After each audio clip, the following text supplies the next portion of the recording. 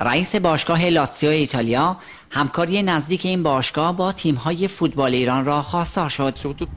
کلاودیو لوتیتو با تاکید بر اینکه فوتبال ایران یکی از قطب‌های فوتبال آسیاست آمادگی تیم لاتسیو را برای برگزاری دیدارهای دوستانه با تیم‌های ایرانی در روم اعلام کرد رئیس باشگاه لاتسیو با بیان اینکه در اواخر تابستان به ایران سفر خواهد کرد گفت